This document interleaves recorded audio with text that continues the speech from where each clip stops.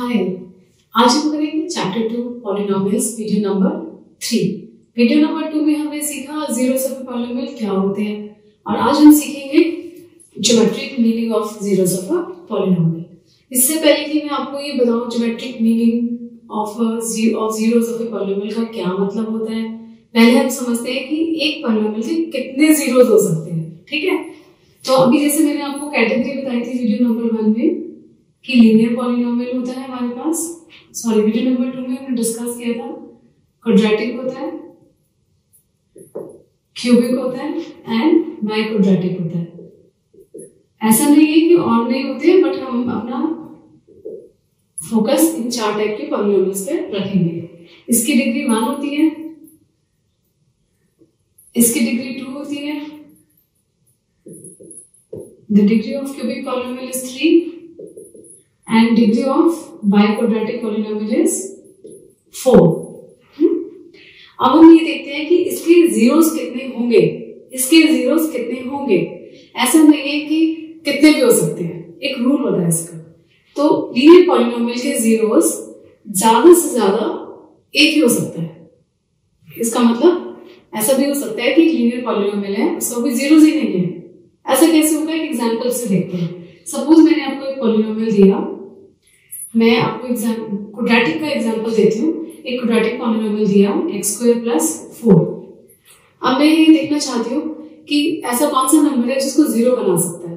तो मैं इसमें कोई भी वैल्यू पुट करूँ। सपोज़ मैंने वन पुट की तो मेरे पास आ गया फाइव मैंने माइनस वन पुट करी तो भी मेरे पास आ गया फाइव ये नॉट इक्वल टू ज़ीरो है, ये भी नॉट इक्वल टू ज़ीरो है।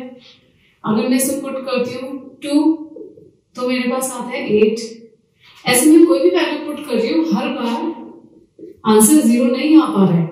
और आप भी ट्राई करके देखना इसमें कोई भी वैल्यू पुट करना आंसर ज़ीरो आएगा ही। नहीं तो इसका मतलब इस पॉलिनोमियल के कोई ज़ीरो ही नहीं है, ठीक है? तो ऐसा भी हो सकता है। तो अब हम देखते हैं कि लीनियर पॉलिनोमियल के ज़्यादा से ज़्यादा ज़्यादा से ज़्यादा को हम बोलते हैं? मैक्सिमम मैक्सिमम टू ज़ीरो हो सकते हैं। सॉरी वन ज़ीरो हो सकते है। I'm sorry. This is maximum one zero ठीक है? इसका मतलब या तो कोई ज़ीरो नहीं होगा या एक होगा। हुँ? इसके होंगे मैक्सिमम टू जीरोस तो इसका मतलब हमें तीन पॉसिबिलिटीज आ गई या तो कोई ज़ीरो होगा नहीं, या एक ही ज़ीरो होगा इसका, या दो ज़ीरो होंगे। इसमें मैक्सिमम थ्री जीरोस यहाँ पे एक, दो, तीन, चार पॉसिबिलिटीज आ गई। No zeros one zero two zero and three zeros ठीक है?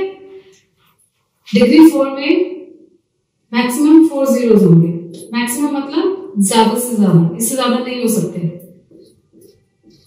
तो इसके no zeros one zero two zero three zero and four zeros आप एक बात ऑब्ज़र्व करो कि जितनी डिग्री है, उतनी मैक्सिमम जीरोस हो सकते सो इसलिए डिग्री हमारे लिए इंपॉर्टेंट हो गई। ठीक है? तो हमें नंबर ऑफ़ जीरोस पता चल गए। अब हम समझेंगे geometric meaning of zeros a polynomial क्या होता है। ज्योमेट्रिक मीनिंग का मतलब हो गया कि किसी भी पॉलिनोमियल को ड्रॉ किया जाए तो उसकी एक पर्टिकुलर शेप आएगी। यानी कि जब हम लीनियर को ड्रॉ करेंगे तो एक डिफरेंट शेप आती है। क्वाड्रेटिक को ड्रॉ करते हैं तो एक डिफरेंट शेप आती है। क्यूबिक को करते हैं तो एक अलग शेप होती है। इसका मतलब ये हुआ कि कोई ग्राफ बना हुआ है और आप देख के बता सकते हो कि ओके इसका जो पॉलिनोमियल है लीनियर होगा, या क्वाड्रेटिक होगा, या क्यूबिक होगा। तो देखते हैं कि कैसे पता चलेगा। कैसे होती है इनकी शेप्स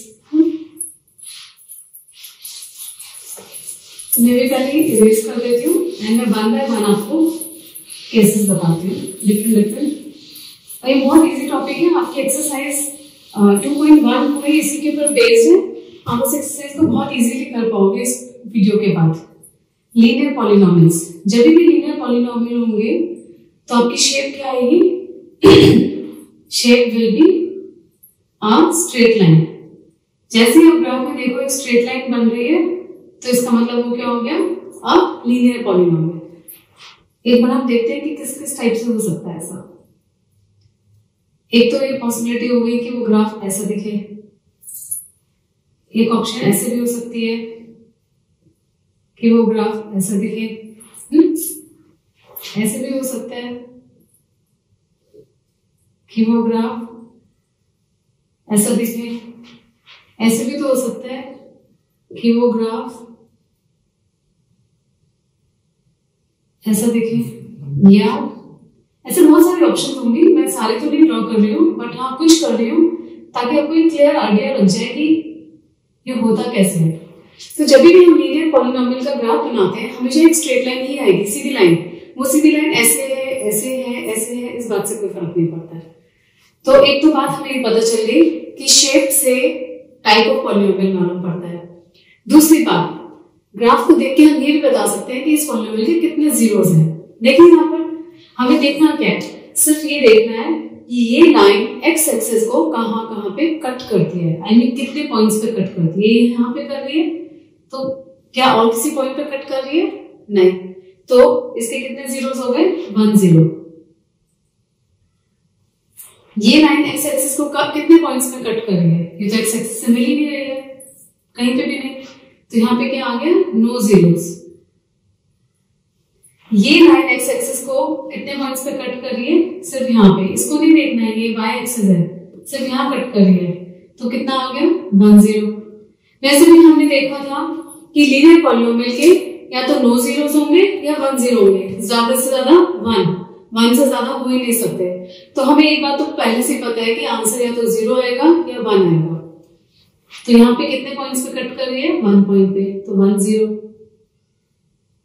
यहाँ पर वन ज़ीरो। ये क्लियर हो गया?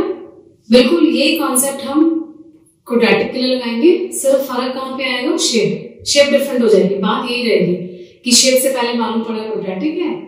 फिर देखेंगे कि वो जो शेप है, वो एक्स एक्सिस को कितने पॉइंट्स पर कट करती है। उतने जीरोस हो जाएँगे।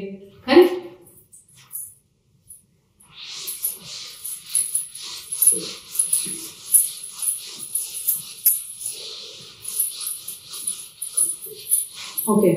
चलो, अब हम करते हैं क्वाड्रेटिक क्वाड्रेटिक के अंदर हमारी जो शेप होगी आप गैस कर सकते हो?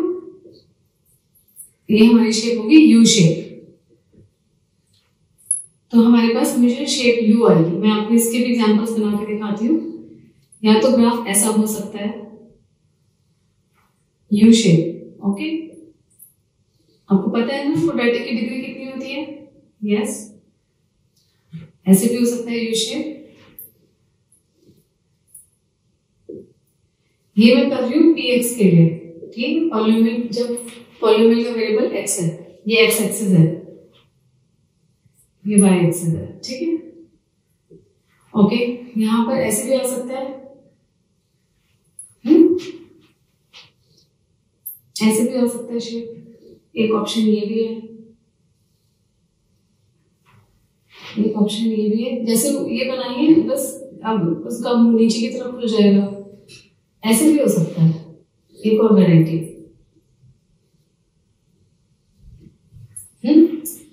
तो ये जो शेप्स हैं, ये सारे के सारे क्वाड्रेटिक पॉलिनोमियल के हैं। अब हमारे पास क्या रह गया? Number of zeros number of zeros का रूल क्या है? सिर्फ़ इतना सा देखना है कि ग्राफ एक्स एक्सिस को कहा, कितने पॉइंट्स में कट कर रहा है। ठीक है? तो यहाँ पे ग्राफ कितने पॉइंट्स में कट कर रहा है? ओनली वन पॉइंट तो कितने जीरोस हो गए? वन ज़ीरो अच्छा जो मैंने आपको अभी थोड़ी देर पहले बताया था, उसके अकॉर्डिंगली क्वाड्रेटिक पॉलिनोमियल के कितने जीरोस हो सकते हैं? मैक्सिमम टू तो इसका मतलब इन सब में हमारा आंसर या तो ज़ीरो आएगा, या वन आएगा, या टू आएगा। ये बात हमें एडवांस में पता है। तो यहाँ पर कितने जीरोस हुए? एक ये पॉइंट एक ये पॉइंट टू जीरोस क्या ये ग्राफ एक्स एक्सिस को कट कर रहा है? No no.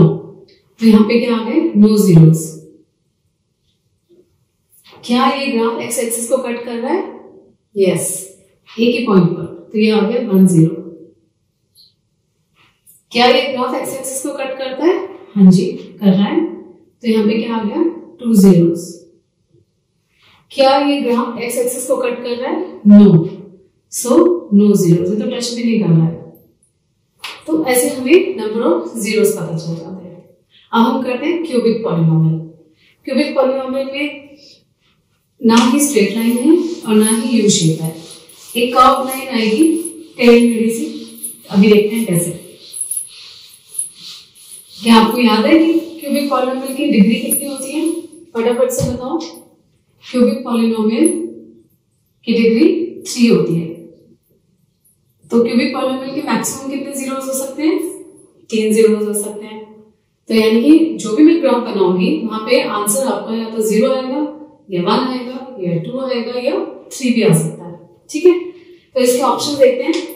एक वैरायटी तो ऐसे हो सकती है कि ग्राफ ऐसे गया और ऐसे आ गया। हम्म? एक ऑप्शन ऐसे भी हो सकती है कि ग्राफ ऐसे चला गया। मैंने बताया था, ना ये यू शेप होगी और ना ही ये स्ट्रेट लाइन होगी। तो इसमें फिक्स शेप नहीं बोल सकते हैं, सिर्फ़ इतनी सी बात ज़रूर है कि स्ट्रेट लाइन नहीं होगी। एंड यू शेप नहीं होगी, ठीक है? दूसरा ऑप्शन हो सकता है एक ऑप्शन ऐसे भी हो सकता है। ऐसे इसमें भी वैरायटी है ऑप्शन है। पर तीन ऑप्शन करते हैं हम अभी हम्म? तो यहाँ पे कितने पॉइंट्स पे कट हो रहा है? एक ये पॉइंट एक ये पॉइंट एक ये पॉइंट तो कितने जीरोस आ गए? थ्री जीरोस यहाँ पे कितने पॉइंट्स में कट हो रहा है? वन पॉइंट पे तो वन ज़ीरो यहाँ पर वन एंड टू टचिंग भी काउंट होता है। यहाँ से टच हो रहा है, इसको भी हम काउंट करते हैं। ठीक है? तो हमने सीखा कि geometric meaning of a polynomial क्या होता है। एंड एक ग्राफ को देख के आप ये कैसे बता सकते हो कि ये कौन सा वाला पॉलिनोमियल है और उसके कितने जीरोस है। अब आप एक्सरसाइज 2.1 अटेम्प्ट कर सकते हो, क्योंकि आपका कॉन्सेप्ट क्लियर हो चुका है। ठीक है? अब हम नेक्स्ट वीडियो में नेक्स्ट कॉन्सेप्ट पढ़ेंगे। Okay till then bye bye thank you